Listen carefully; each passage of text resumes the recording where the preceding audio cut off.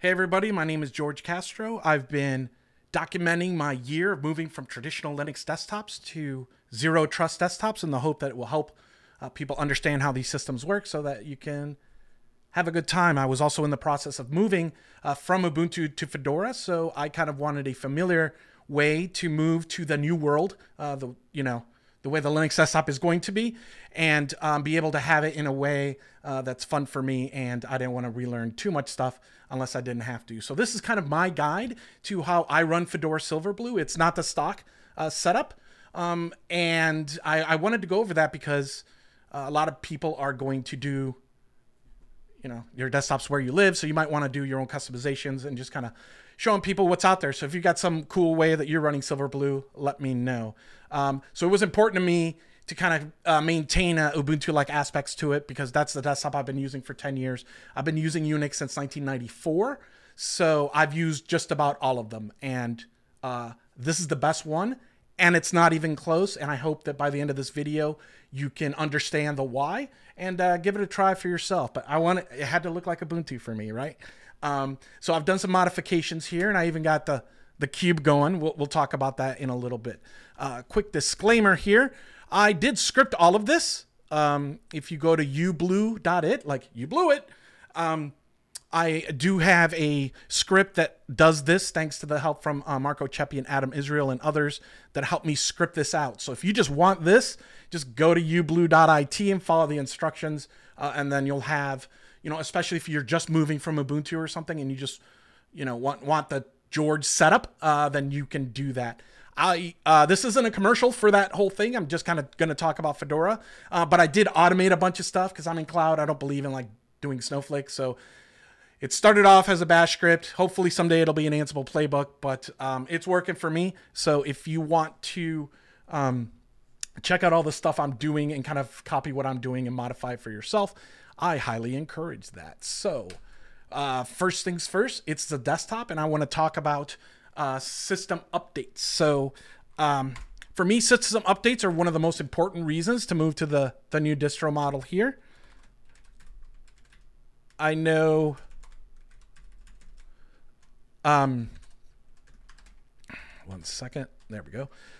I know that uh, it's fam- you know people famously say Linux is better uh, a better client because you get to choose when not to apply security updates. Uh, I think that's awful. Um, so if I'm going to move to the new world and the file system is immutable and I can roll back both the system and the applications at a separate thing, there's no need for me not to apply uh, security updates. So uh, by default, there's this file called etc rpm-ostreed.conf. And in here, you will find the actual OS tree update policy. I changed this to stage, um, which is not the default. By default, your GNOME software will come up and you got to apply updates and then you do uh, the reboot. What stage does, I changed this to stage for a few reasons, is there's a daemon in the background that just polls uh, the server when updates are available and then just automatically applies them to uh, the OS tree. Now, what that means is I am constantly always up to date in the background. The updates don't take place, however, until I reboot. Now, I know a lot of times people are like, wait, you know, I don't want to reboot. I don't, I don't understand why I have to reboot. Isn't that what Windows makes me do or whatever? Um, so the way I do it is I just reboot naturally, right? So if it's if it's a work machine, right, uh, work life balance on Fridays, I shut that bad boy off. Um, for my personal machines, I just kind of got used to turning them off when I'm not using them. Um, laptops kind of generally have a, you know, you're not keeping the thing in suspend forever. So I feel like I'm shutting that thing off uh, on the regular. And um, the updates are applied. I've been running five or six systems like this in a year. Um, and I had zero issues. I think there was one that I had an issue with, and that's a quick rollback. To me, not applying security updates is way worse than anything that you can get by applying an update. So, uh, knowing that I can quickly and easily roll back just makes this a no brainer for me. I call this sport mode for OS tree. Obviously, distros don't ship like this by default, but why are you going to buy an AMG if you're going to drive it in comfort mode? Go for it, right? So, uh, that's what I do there. The other thing I've noticed people um, sometimes get confused about is what am I supposed to be layering? So, um, I layer a few things. Things that you layer.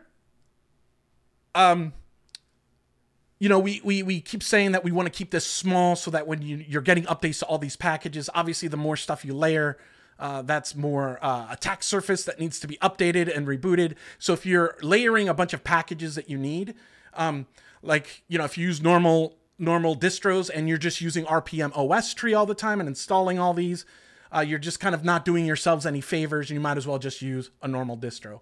However, we are in the middle of a transition. So sometimes that means that you gotta, you know, we don't want perfect to be the enemy of good, right? So I layer VS code. Um, uh, because sometimes the tooling around containers and stuff isn't quite as developed yet. That's a work in progress. These are atomic systems, so you don't lose anything by layering and then removing it later. Uh, so I do code, uh, and my general guideline is for if you want to layer layer stuff that's at the system level, not at the application level. Um, look back in my blogs; I talk about this all the time. We are splitting instead of one big operating system that you install everything by root, which is bad to a system where we have the system packages, right?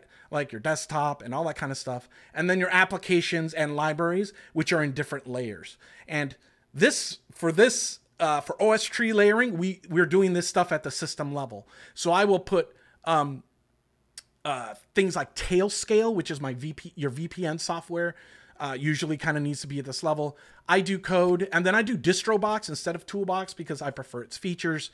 Um, however, I've, as you notice, I've broken one of my rules right away, and I have GNOME shell extensions here.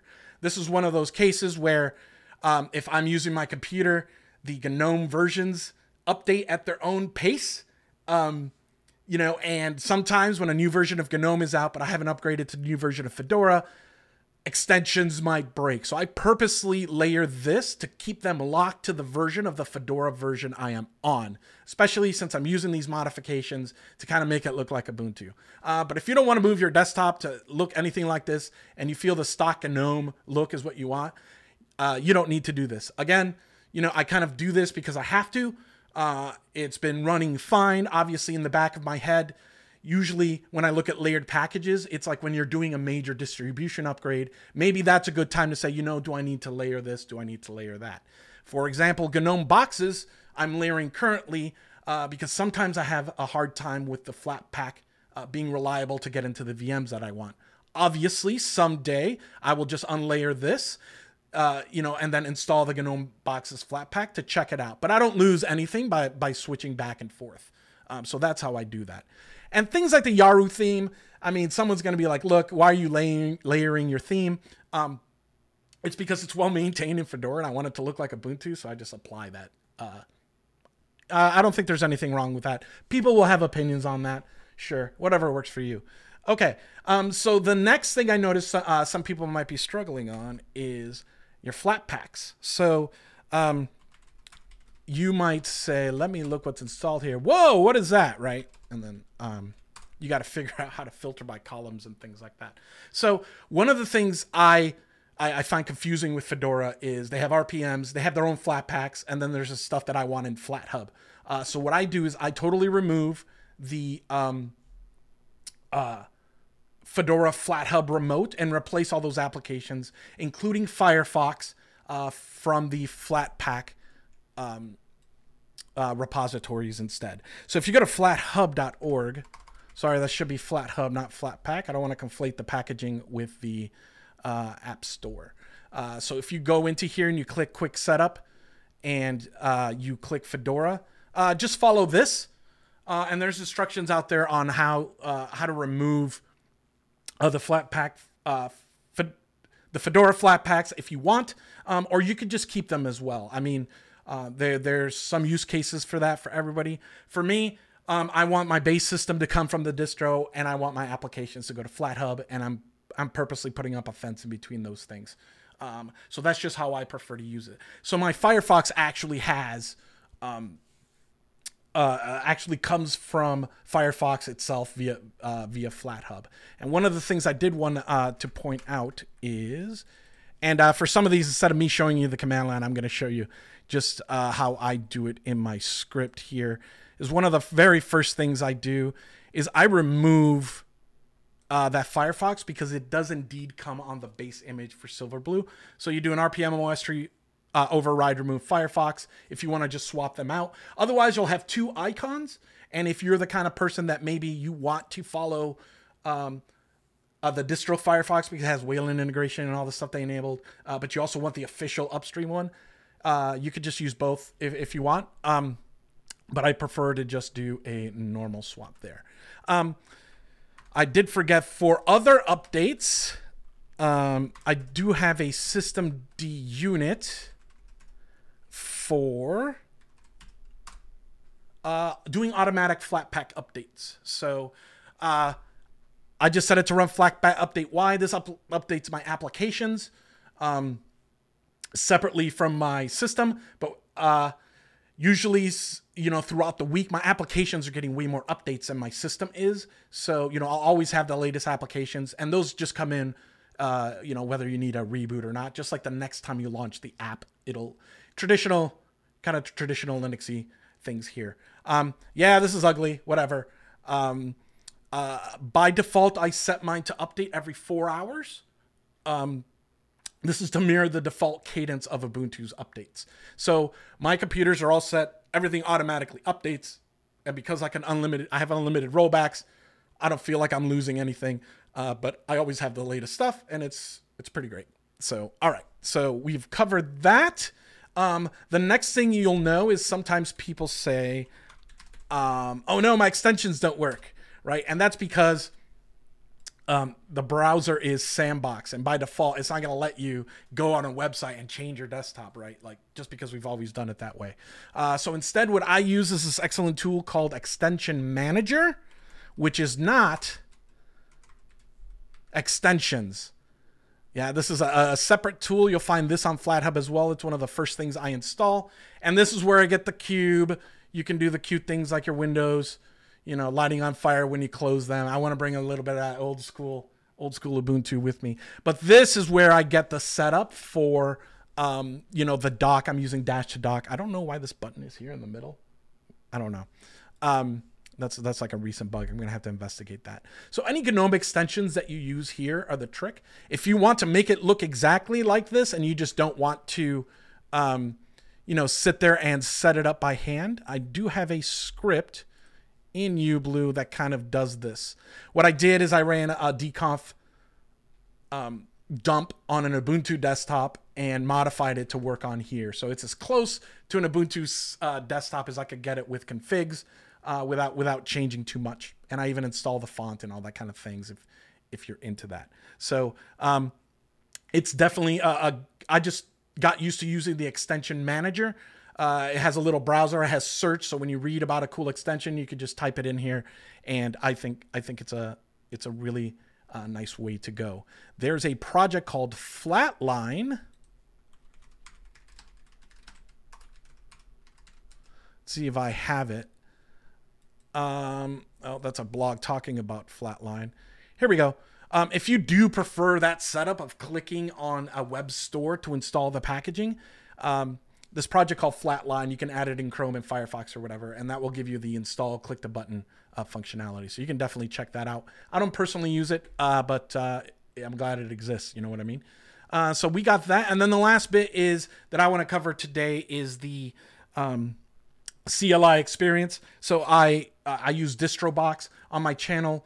Uh, go back a few videos. I made a video of my entire DistroBox setup, uh, but that's the concept of using uh, other distributions as your terminal CLI. So, um, you know, in here I can install any of the stuff. Oh, I already have that installed. Uh, what's a? I don't know. Do I have HTOP in here? I do.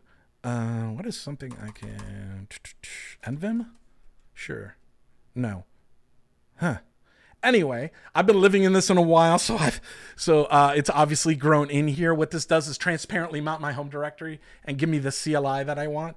I keep around Fedora toolboxes, um, uh, you know, and then I have a system one that doesn't go into toolboxes at all. Uh, but by default, I go uh, when I open a terminal, I'm always in an Ubuntu container, and that's how I kind of roll.